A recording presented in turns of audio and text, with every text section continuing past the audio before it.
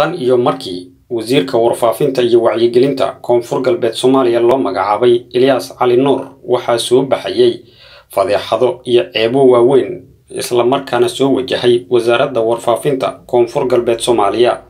Wararka aan ka helayno raadiyo marka ee koonfur galbeed soomaaliya ayaa sheegaya in gebi ahaanba la waayey oo la xaday f m k raadiyo marka ee koonfur galbeed soomaaliya waxaa sidoo kale iyadana aan la hubin halka uu ku dambeeyo f m k radio koonfur galbeed ee magaalada muqdisho.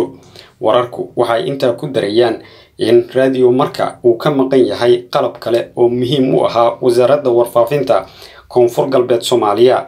Haddaba warqad aan weli dibadda u soo bixin balse uu qoray wasiirka warfaafinta koonfur galbeed elyaas cali nuur ayaa waxa ay u qorneed sida tan ku socoto guddoomiyaha degmada marka ku socoto taliyaha saldhigga marka ku socoto guddoomiyaha gobolka shabeellaha hoose og agaasimaha guud ee wasaaradda og wasiir ku-xigeenka wasaaradda ujeedo hubin ama baaris si dhaba raadiyo marka. Dhammaan mas'uuliyiintan kor ku xusan waxaa lagu wargelinayaa in ay wax ka qabtaan meelna ay ku sheegaan f m k radio marka ee la sheegay in la haday waxaana mas'uuliyiintaas lagu wargelinayaa in saldhigga looga yeero agaasimihii raadiyo marka cabduqaadir ismaaciil ilka case islamarkaana uu meel ku sheego f m-kaas iyo qalab kale oo la haday. Waxaana tan iyo markii elyaas cali nuur loo magacaabay wasiirka warfaafinta koonfur galbeed soomaaliya soo baxayay fadeexado waaweyn. Haddaba su'aasha isweydiinta mudan ayaa ah xilligan maxaa ku soo beegay in la waayo f m-yadii marka iyo muqdisho? Wasiiradii ka horeeyey waxaa jiray in wax fadeexada aanan ku soo bixin. Haddaba elyaas cali nuur tan iyo markii uu qabtay xilka wasaaraddan waxaa soo baxayay fadeexado waaweyn oo wasaaradda hareeyey hadda waxaa la waayey gebi ahaanba f m k radio marka oo ma jirto meel lagu sheego. Wasiirkii ugu horeeyey ee gebi ahaanba deegaanada koonfur galbeed degmooyinkeeda geeyey radio koonfur galbeed islamarkaana hormariyey wasaaradda waa ugaas xasan cabdi maxamed ma jirin qalab la waayey sidoo kale elyaas qalinle ma jirin qalab la waayey markii uu xilka uu hayay.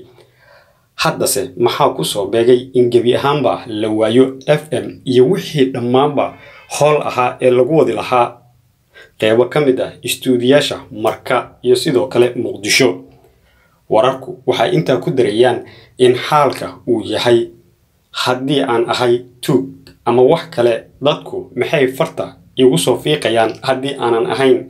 Taa oo micnaheedu yahay in wax badan uu ka og yahay waxyaabaha xilligan ka dhacaya marka iyo muqdisho. Elyaas cali nuur sababtuna elyaas cali nuur waxa uu wasaaradda gacanta u geliyey dad aanan ehel u ahayn islamarkaana uu gacanta u saaray wasaaraddii waxaa hadda bilaabatay in la hado amaba la waayo dhammaan wixii qalab ahaa oo ay lahayd wasaaradda oo ay ugu horeyso f m-yadii sida f m kii marko kii muqdisho waxaa sidoo kale qalqal ku jira kii baraawe.